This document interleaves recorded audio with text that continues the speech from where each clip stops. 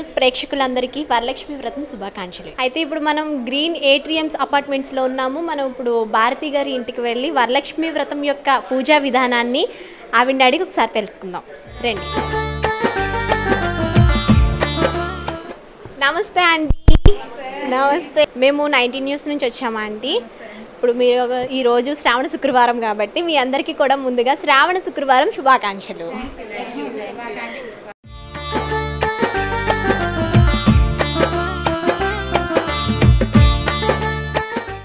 Okay మరి Bharati aunty వాళ్ళ ఇంట్లో ఉన్నాం మనము. చాలా చక్కగా వరలక్ష్మీదేవిని ఎంతో ప్ర- ఆ అమ్మ తల్లి యొక్క ప్రతిమని చాలా చక్కగా రెడీ చేశారు. ముందుగా తల్లికి ఒకసారి మనం నమస్కరిద్దాము.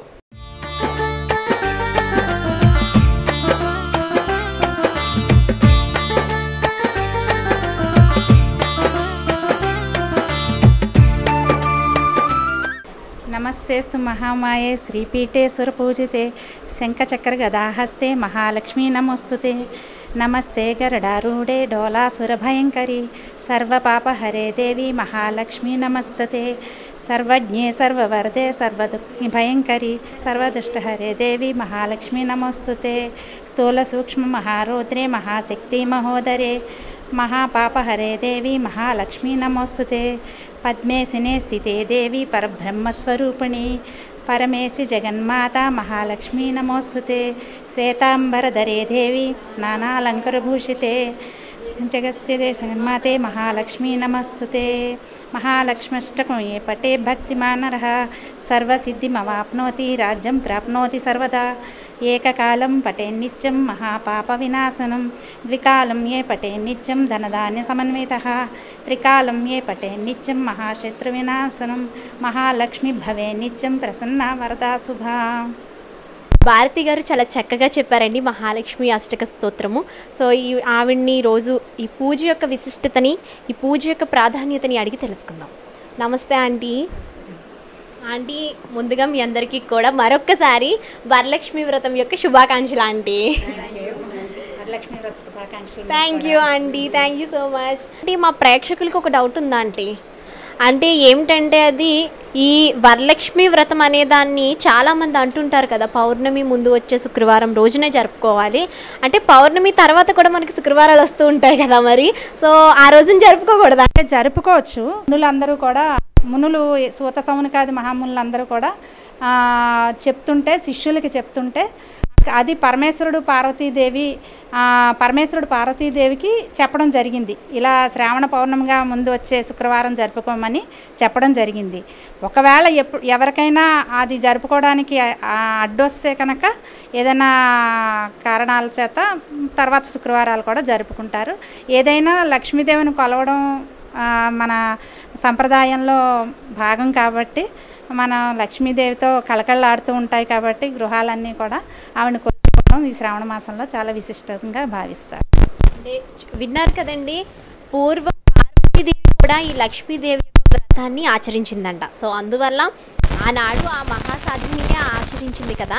ఇప్పుడు మనం మానవ మాత్రం మనం కూడా ఆచరించడంలో తప్పే ఉంది అని చెప్పి ఆంటీ మన అంటున్నారు. సో అలాగని అదే కాకుండా ఈ పూర్వం ఈ వరలక్ష్మి వ్రతం ఆచరించడం వలన పార్వతీదేవికి కుమారస్వామి కూడా జన్మించారంట.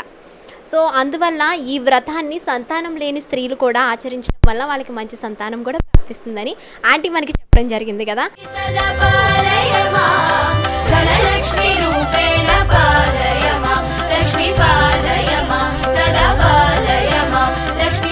మనం శ్రీ మహాలక్ష్మి వ్రతం యొక్క విశిష్టతని భారతి గారిని అడిగి చక్కగా తెలుసుకున్నాం కదా. ఇప్పుడు మనం మరొక మహాలక్ష్మి ఇంటికి వెళ్ళి ఆ తల్లి యొక్క పూజా ప్రాధాన్యతను తెలుసుకుందాం. విద్యాలక్ష్మి సదా పాలయమా ధనలక్ష్మి రూపేణ పాలయమా? లక్ష్మీ పాల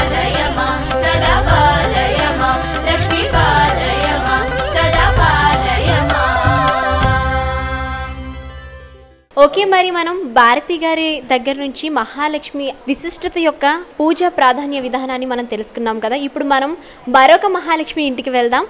ఓకే ఇప్పుడు మనం వచ్చిన మహాలక్ష్మి ఇంటి పేరు ఏంటంటే లక్ష్మి అన్నమాట. ఆ తల్లి పేరులోనే ఆంటీ గారి పేరు కూడా కలిసింది కదా. ఓకే మన ఆంటీ గారిని ఇంకా మహాలక్ష్మి పూజా విధానం యొక్క విశిష్టతను ప్రాధాన్యతను ఆ తల్లి యొక్క అనుగ్రహం ఎలా వస్తుంది ఏంటి అని ఆంటీని ఒకసారి అడిగి తెలుసుకుందాం. మరి రండి. హాయ్ ఆంటీ హాయ్ ఓకే మీ అందరికి కూడా ముందుగా వరలక్ష్మి వ్రతం యొక్క శుభాకాంక్షలు. ఓకే ఇప్పుడు మనం లక్ష్మి గారి ఇంట్లో ఉన్నాము. ఆంటీని అడిగి వరలక్ష్మి వ్రతం యొక్క విశిష్టత తెలుసుకునే ముందు ఒకసారి అమ్మవారిని దర్శించుకొని వద్దాం. ఓకే మరి లక్ష్మి ఆంటీ గారు ఆ తల్లి యొక్క ప్రతిమను ఎంతో చక్కగా ఆ తల్లిని అలంకరించి ఆ తల్లి ఆ యొక్క అలంకరణ నుంచి సాక్షాత్ లక్ష్మీదేవి అక్కడ కూర్చున్నట్టుగా ఉలిక్కి పడినట్టుగా ఉంది చూడండి ఒకసారి.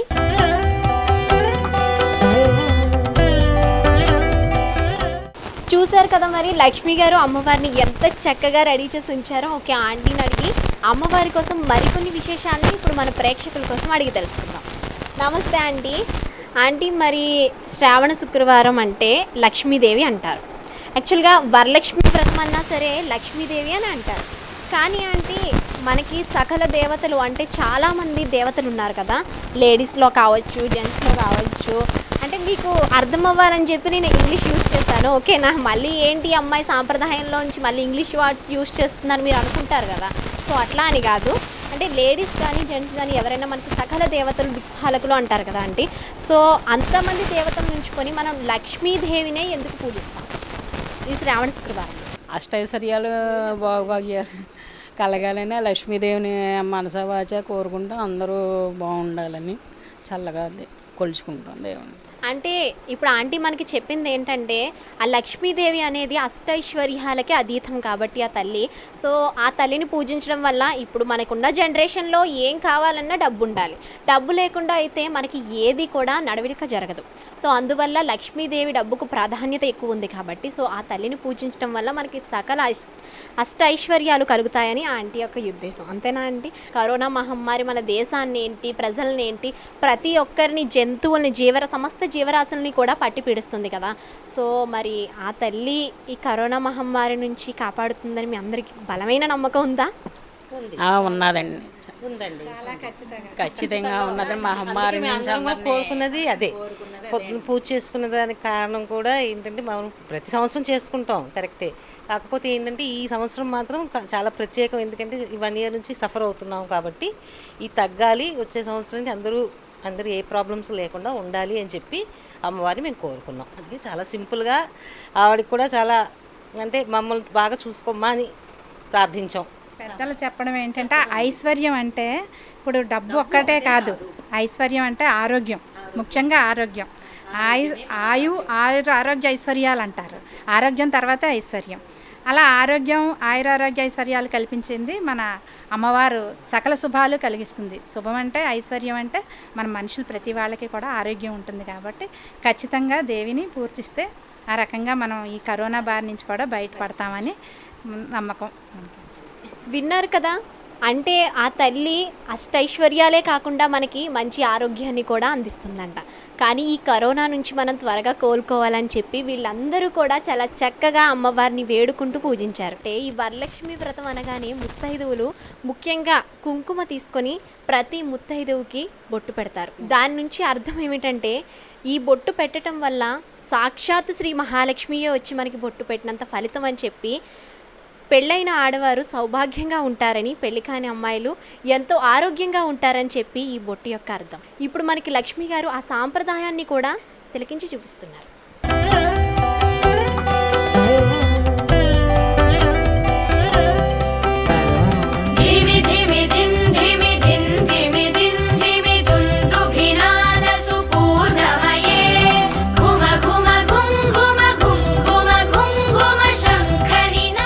ఓకే మరి మనం ఒక మహాలక్ష్మి దగ్గరకు వచ్చి మనం లక్ష్మీదేవి యొక్క పూజ విశిష్టత ప్రత్యేకత ఆ తల్లిని ఎందువల్ల పూజించాలి? ఈ కరోనా మహమ్మారి నుంచి ఆ తల్లి మనల్ని చల్లగా కాపాడుతుంది అని చెప్పి ఆంటీ గారు కూడా మనకి చెప్పడం జరిగింది. మళ్ళీ మనం ఇంకొక మహాలక్ష్మి ఇంటికి వెళ్ళి చక్కగా తల్లి కోసం విశేషాలను తెలుసుకుందాం. రండి. వేద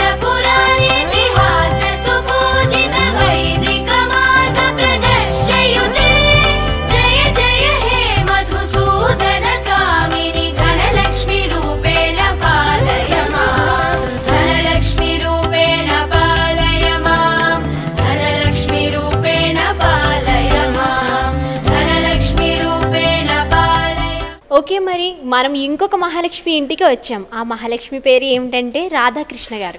ఓకే ఆవిడని అడిగి ఇంకొన్ని విశిష్టత విశేషాలు మనం ఇప్పుడు తెలుసుకుందాం. రండి. Hi aunty. నమస్తే. ముందుగా మీకు వరలక్ష్మి వ్రతం యొక్క శుభాకాంక్షలు ఆంటీ. ఓకే మరి మనం ఇప్పుడు రాధాకృష్ణ గారి ఇంట్లో ఉన్నాము. ఈమె నుంచి ఆ వరలక్ష్మీదేవి యొక్క విశిష్టత ప్రాధాన్యతలను కూడా మనం ఇంకా మన ప్రేక్షకులకు ఉన్న డౌట్లను కూడా మేము క్లియర్ చేయడానికి వచ్చాం అనమాట ఆంటీ దగ్గరికి. మరి ముందుగా అమ్మవారిని దర్శించుకుందామా మరి? ఓకే మరి అమ్మవారిని చాలా చక్కగా అందంగా కూడా ఆ తల్లి యొక్క ప్రతిమని కూడా చాలా చక్కగా రెడీ చేశారు మరి. ఆ యొక్క జగన్మాత ఆ లక్ష్మీదేవి కూడా ఆంటీ వాళ్ళ ఇంట్లోనే ఉన్నట్టు చాలా చక్కగా కనిపిస్తుంది. కళ కూడా అలా చూడండి ఒకసారి మీరు కూడా చూడండి ప్రేక్షకులు. ఎంత చక్కగా అమ్మవారిని రెడీ చేశారో ఆ బంగారం పువ్వులతోని ఆ యొక్క వెండితోని ఆ తల్లిని ఎంత చక్కగా అలంకరించారో రకరకాల ఫ్రూట్స్తో అంటే ఫ్రూట్స్ అంటే యాపిల్స్ ఆరెంజెస్ మొత్తం అన్ని రకాల ఫ్రూట్స్ పెట్టి ఆ తల్లిని చాలా చక్కగా రెడీ చేశారనమాట ఒకసారి మనం ఆ తల్లిని దర్శించుకుందాం మరి.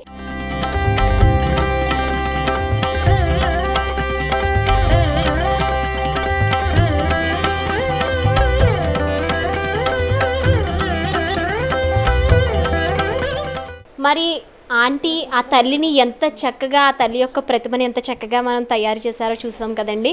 సో ఆంటీని ఇంకొన్ని విశేషాలు అడిగి మరి మనం ప్రేక్షకులకున్న డౌట్ని కూడా క్లియర్ చేద్దామా మరి? ఓకే రండి. ఆంటీ దగ్గరికి వెళ్దాం. ఆంటీ ముందుగా మీకు వరలక్ష్మి వ్రతం శుభాకాంక్షలు ఆంటీ. అయితే ఈ వరలక్ష్మి వ్రతానికి అమ్మవారికి నైవేద్యం అనేది చాలా ముఖ్యంగా పెడుతూ ఉంటారు. అంటే అమ్మవారు అనే కాదు మన హిందూ సాంప్రదాయ ప్రకారం ఏ పూజలు చేసినా సరే నైవేద్యం అనేది కన్ఫామ్గా పెడుతూ ఉంటారు కదా. మరి ఈ వరలక్ష్మి వ్రతం రోజున నైవేద్యం అంటే ఏమేమి పెడతారండి? సలివిడి వడపప్పు కామన్గా పెడతారు అందరూ.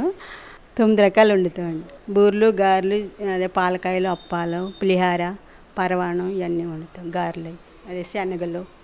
తాం ముగ్గురికి పేరెంట్ వాళ్ళకి ఇచ్చుకుంటాం. ఆంటీ మరి మనకి చెప్పారు కదా ఆంటీ అయితే తొమ్మిది రకాల నైవేద్యాలు పెడతారంట. ఆంటీ అనే కాదు ఈ వ్రతం చేసే ప్రతి ఒక్కరు కూడా తొమ్మిది రకాల నైవేద్యంతో అమ్మవారిని చక్కగా పూజిస్తూ ఉంటారంట మరి.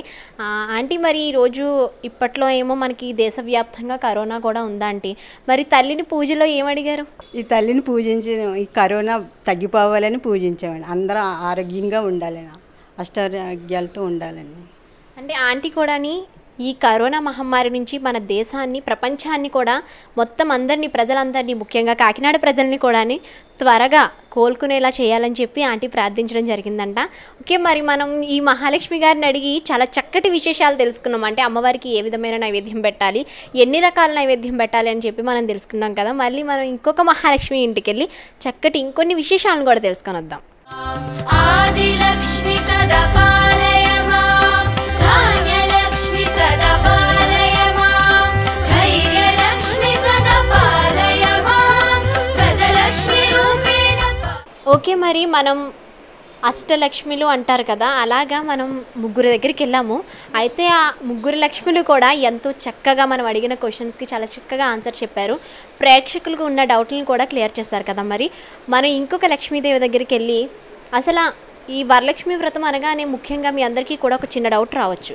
తాంబూలం అని చెప్పి ఒక డౌట్ రావచ్చు. ఆ తాంబూలాన్ని ఎందుకు ఇస్తారు? ఏంటి? ఆ తాంబూలం ఇవ్వటం వల్ల మనకి ఏం శుభం కలుగుతుంది? ఆ లక్ష్మీదేవి కటాక్షం మనకి ఎంతవరకు ఉంటుంది? ఏంటి? అని చెప్పి ఆ యొక్క ప్రశ్నకు సమాధానం మనం ఇంకొక లక్ష్మీదేవిని అడిగి తెలుసుకుందాం. నమస్తే ఆంటీ. ఓకే ఇప్పుడు మనం ప్రసన్న గారి దగ్గర ఉన్నాము. ఆంటీని అడిగి ఇంకొన్ని విశిష్టత విశేషాల గురించి ఇప్పుడు మనం తెలుసుకుందాం మరి. ఆంటీ మీరు ముందుగా మీకు శ్రావణ శుక్రవారం శుభాకాంక్షలు ఆంటీ.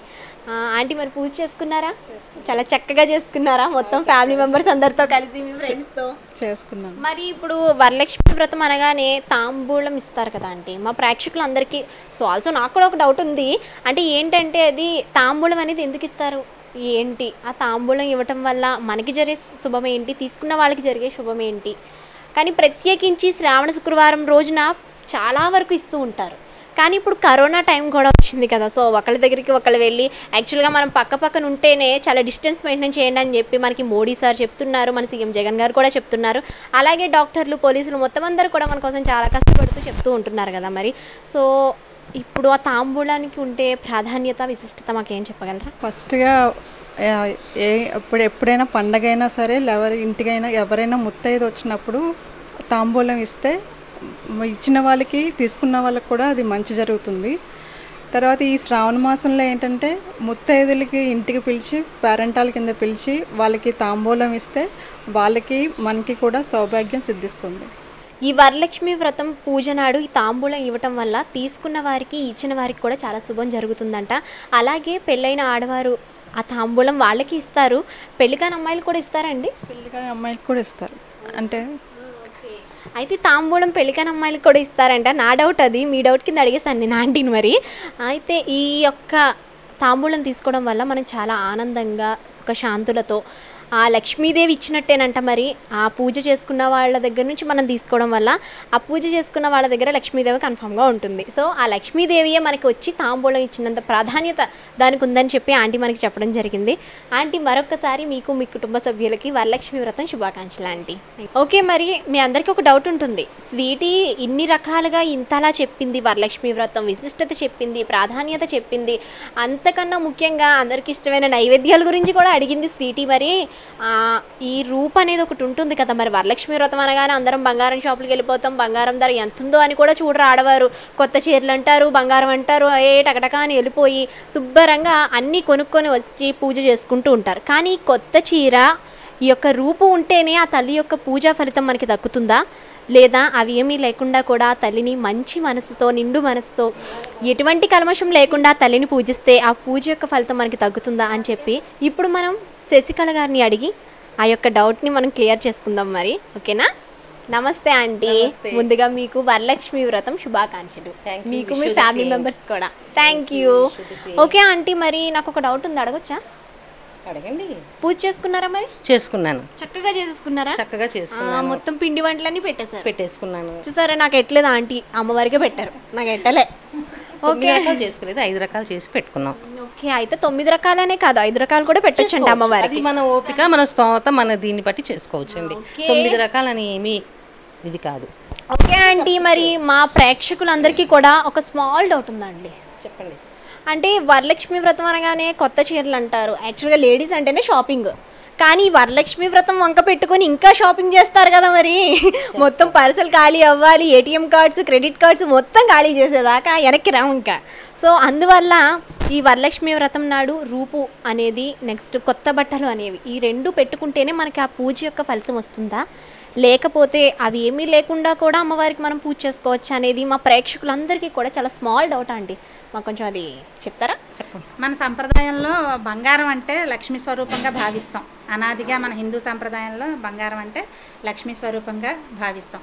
పర్టికులర్గా చాలా ఇంపార్టెంట్గా వరలక్ష్మి వ్రతం అనేది ఆడవాళ్ళ. ఆడవాళ్ళు పూజ. ఆడవాళ్ళు సౌభాగ్యంగా ఇంట్లో కళకళలాడుతూ తిరిగి వాళ్ళు సరదాగా అన్నీ కొనుక్కుని చేసుకుంటే చాలా హుషా ఉత్సాహంగా ఆనందభరితంగా ఉంటుంది ఆ రోజు వాతావరణం అంతా కూడా ఇదే మరి ఏ పండగ లేనప్పుడు మగవాళ్ళని కొనమంటే కొంటారా? కొనరు కదా. మా పండగ ఆడవాళ్ళ పండగ వచ్చినప్పుడు అది లక్ష్మీదేవి పండగ అన్నప్పుడు మేము కలగళ్ళాడుతూ తిరిగితే మగవాళ్ళకు కూడా ఎంతో ఉన్నత స్థితికి వెళ్తారు.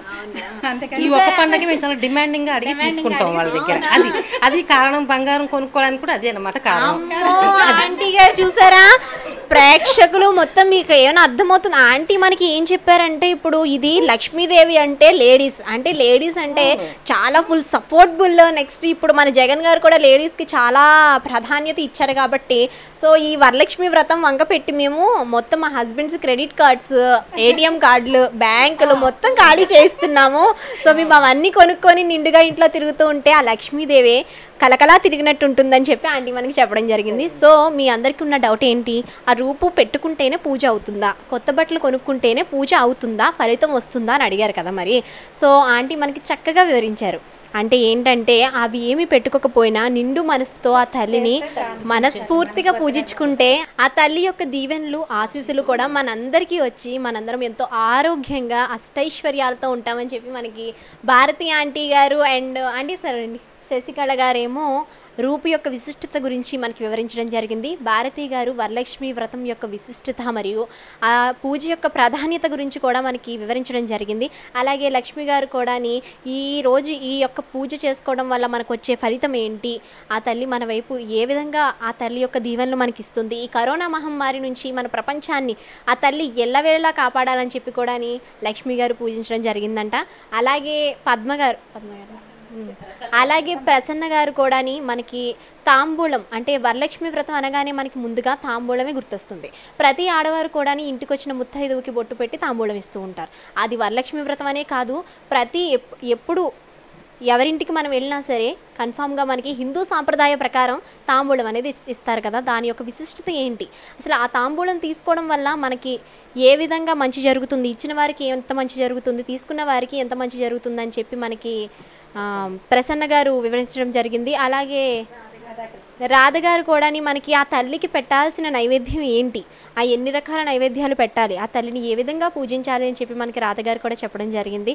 సో మీరందరూ కూడా మా నైన్టీన్ న్యూస్కి మీ యొక్క విలువైన టైంను మాకు ఇచ్చి ఇంత చక్కగా తల్లి కోసం మాకు ఇంత వివరించినందుకు మీ అందరికీ కూడా ధన్యవాదాలు ఆంటీ. మా తరపు నుంచి కూడా మాకు ఈ అవకాశం కలిగించినందుకు వరలక్ష్మి వ్రతం రోజు మాకు ఈ అవకాశం కలిగించినందుకు నైన్టీన్ న్యూస్ ఛానల్కి చాలా కృతజ్ఞతలు ఓకే ఆంటీ. మరొక్కసారి మీకు మీ కుటుంబ సభ్యులందరికీ కూడా వరలక్ష్మి వ్రతం శుభాకాంక్షలు aunty. Thank you thank you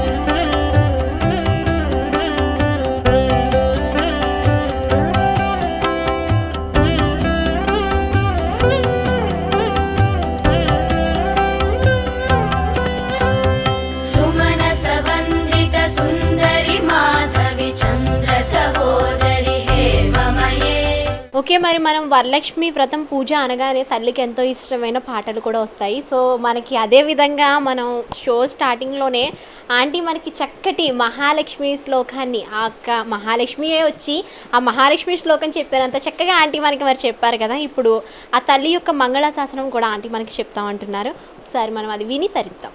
క్షీరాబ్ది కన్యకకు శ్రీ మహాలక్ష్మికి నీరజాలయమునకు నీరాజనం నీరాజనం నీరాజనం. క్షీరాబ్ది కన్యకకు శ్రీ మహాలక్ష్మికి నీరజాలయమునకు నీరాజనం నీరాజనం నీరాజనం. జలజాక్షి మోమునకు జక్కకు చంబునకు నెలకొన్న కప్పురపు నీరాజనం. అలమేణి కురుమునకు హస్తకమలంబునకు అలమేణి కురుమునకు హస్తకమలంబునకు నిలువు మాణిక్యముల నీరాజనం. అలమేణి కురుమునకు హస్తకమలంబునకు నిలువు మాణిక్యముల నీరాజనం. నిలువు మాణిక్యముల నీరాజనం. నీరాజనం నీరాజనం. క్షీరాబ్ది కన్యకకు శ్రీ మహాలక్ష్మికి నీరజాలయమునకు నీరాజనం. నీరాజనం. నీరాజనం. సగటు శ్రీ వెంకటేశు పట్టపురాణి అయి నెగడు సతి కళలకును నీరాజనం. సగటు శ్రీ వెంకటేశ పట్టపురాణి అయి నెగడు సతి కళలకును నీరాజనం. జగతి నలమేల్మంగ చక్కదనములకెల్ల జగతి నలమేల్మంగ చక్కదనములకెల్ల నిగుడు నిజ శోభనపు నీరాజనం. జగతి నలమేల్మంగ చక్కదనములకెల్ల నిగుడు నిజ శోభనపు నీరాజనం. నిగుడు నిజ శోభనపు నీరాజనం. నీరాజనం నీరాజనం క్షీరాబ్ది కన్యకకు శ్రీ మహాలక్ష్మికి నీరజాలయమునకు నీరాజనం నీరాజనం ఆ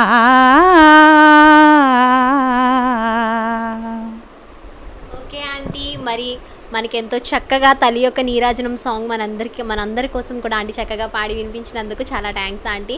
మరొక్కసారి మీ అందరికీ కూడా శ్రీ వరలక్ష్మి వ్రతం యొక్క శుభాకాంక్షలు ఆంటీ. మీకు మీ ఫ్యామిలీ మెంబర్స్ కూడా. Bye aunty.